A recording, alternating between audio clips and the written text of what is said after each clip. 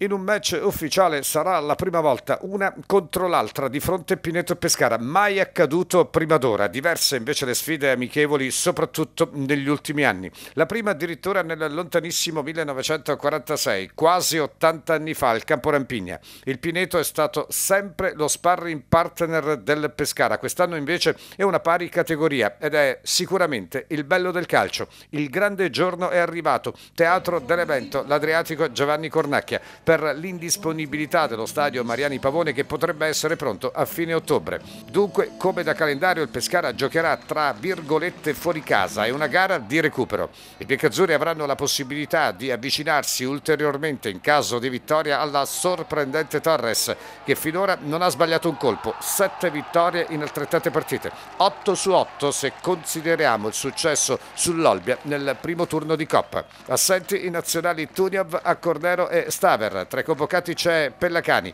Franchini ancora ai margini. La novità sostanziale, Vergani dal primo minuto nel tridente completato da Merola e Cangiano. Previsti cambi anche in mediana, probabile 11. Plizzari tre pali in difesa Pierno, Brosco, Mesic e Moruzia. Centrocampo probabilmente Aloi per Squizzato con De Marco e Dagasso Mezzali. Davanti come detto Merola e Cangiano a supporto di Vergani che con Zeman in gare di campionato è partito titolare solo in casa della Gelbison lo scorso 12 marzo, sostituito nell'intervallo da Facundo Lescano che firmò il gol vittoria. In questo caso Cuppone partirebbe dalla panchina.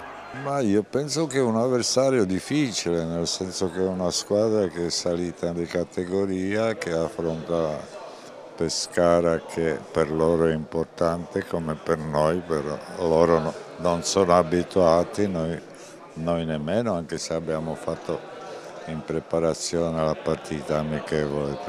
Tatticamente che partita vuole vedere? Dove deve essere bravo il Pescara?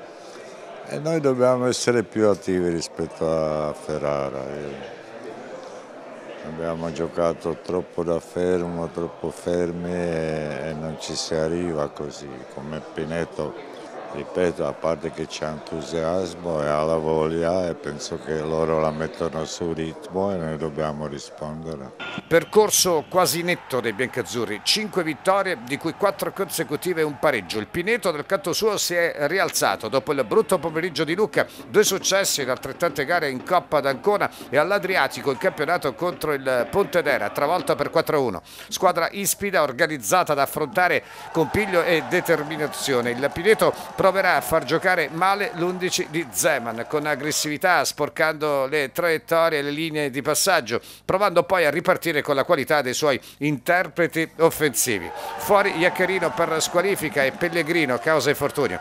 A Mauro potrebbe confermare per 9 undicesimi la formazione schierata col Pontedera. Sistema di gioco 3-5-1-1. Tre pali tonti in difesa Evangelisti, gli ex Ingrosso e Marafini. Sulle fasce Teraschi e Borsoi a metà campo Schirone, Amadio Germinario, altro ex tra le linee Volpicelli alle spalle di Shakir con Gambale inizialmente in panchina. Pineto Pescara sarà diretta da Andrea Zanotti della sezione di Rimini.